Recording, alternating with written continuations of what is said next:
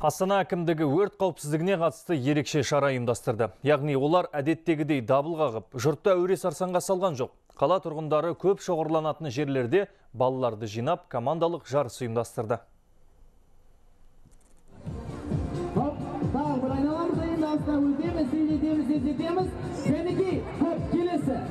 Сырттай қарағанда күнделікті өтіп жататын сауықтық шаралардың бірі сияқты. Бірақ мұндағы әр сұрақ пен әр қимылдың астарында өрт қауіпсіздігінің алғышарттары бар.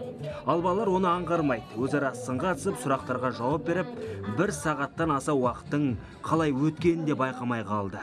Бүгінгі шараға 10 адамнан тұратын 6 команда қатысып жатыр. Олардың ішін пыстырмау үшін концерттік бағдарлама әзірледік. Осы шараға тартылған балалардың жалпы саны 200-ден асады. Мұндай қызықты да пайдалы шара енді олардың жадында сақталып қалады деген сенімдемін. Астана әкімдігі ерекше форматтағы оқу жаттығуды осымен төртінші мәрте ұйымдастырып отыр. Және әрқайсысында әртүрлі бағдарлама ұсынуға тырысады.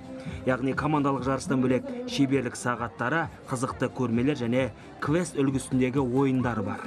Көрші мемлекетте болған қайғылы оқиға бәрімізге сабақ болды. Ол деген сөз біздің жалпы осы азаматтардың өз айналасына осы өздеріне үлкен бір жауапкершілікпен қарау керектігін айтты. Осындай келеңсіз жағдайларды орын алмас үшін келеңсіз жағдайда жағдайларды болдырмас үшін ә, күні ә, осы таяуда астана қаласы әкімі әсет өрентайұлы біз ә, қауіпсіз қала үшін акциясын және осы таза қала акцияларын жариялаған болатын.